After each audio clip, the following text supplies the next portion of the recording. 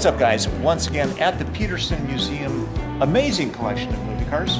Hanging out with Andy Lamone, who is a the official uh, Grand Poobah docent here. I would say Grand Poobah, but we don't. Yeah. so uh, we have uh, several Blade Runner cars I want to show you guys, which are quite extraordinary. Some of the cars that Syd Mead, my good friend, uh, designed way back in 1981 for this movie. And then Gene Winfield built the cars. Gene Winfield built the cars. Yeah. So we're going to talk about Deckard's car, and then we're also going to show you some of the other cars uh, from 2049.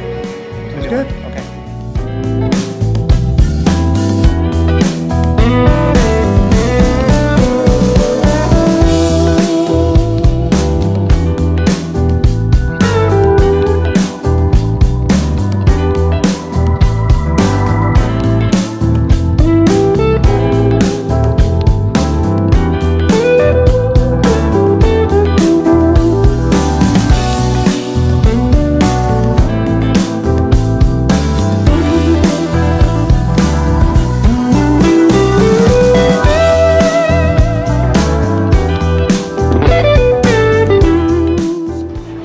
Like this because now we're the same height.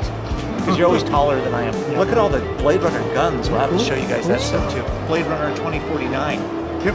which is this incredible movie. Oh, absolutely. You've seen it like 23 times. Oh, you could recite every every line.